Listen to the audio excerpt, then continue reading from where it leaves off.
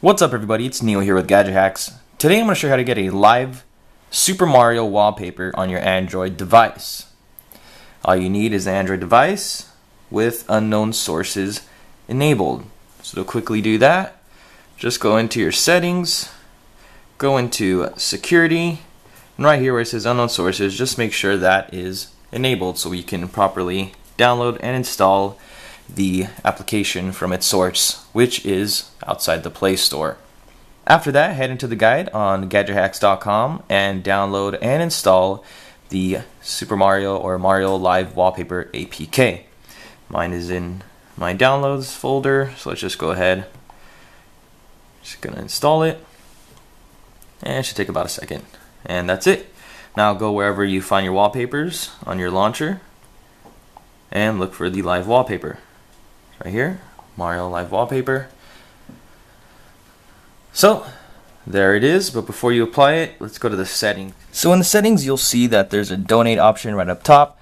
Then there's a skip level if you just want to change the level that's being displayed. Then there's appearance settings. From here you can actually adjust the backdrop of the actual level. So you can actually um, use a color if you want.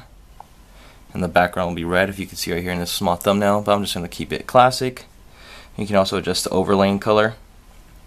Always have it in the center. Then you can adjust the frames per second.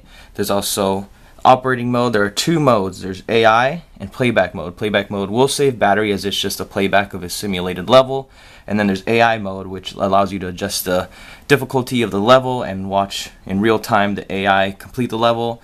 Um, I prefer just playback mode. I don't. I'm not going to be staring at it that long. And then once you make your changes or adjust it, you're going to want to go back and actually apply it with that little button right here set as wallpaper. And there you go. You have your own Super Mario live wallpaper that you can enjoy from your home screen. So definitely check it out. Check out the full guide on gadgethacks.com. Don't forget to like, comment, and subscribe for some more awesome Gadget Hack videos. Thanks guys.